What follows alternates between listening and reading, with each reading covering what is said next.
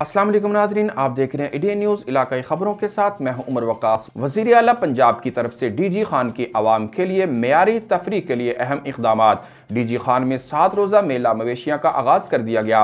Machine वज़ीर अला Punjab Mohammad Hanif Pitafi commissioner doctor Irshad Ahmad ने फ़िज़ा में कबूतर आज़ाद करके मेला मवेशियाँ का आगाज़ कर दिया। मेला मवेशियाँ की अफ्ताही तकरीब में रंगारंग प्रोग्राम में रवायती बलोच, तलवार, रक्स के साथ घोड़ा डांस का शानदार मुजाहरा।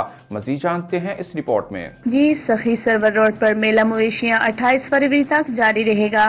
मेला मवेशिया में नेजाबाजी, लकी ईरानी सर्कस, स्पोर्ट्स और दीगर तफरी मुकाबले होंगे। खूबसूरत मवेशियों की नुमाइश, दूध मुकाबला, पंजा आजमाई रस्सा कशी घुड़दौड़ कुश्ती, वालीबॉल म्यूजिकल नाइट और दीगर रंगारंग तकरीबात होंगी। घुटन के माहौल में म्यारी तफरी, आवाम के लिए ठंडी हवा का झोंका साबित होगी। मेला मवेशिया में कोरोना एस ओ पीज पर अमल दरामद कराया जाएगा।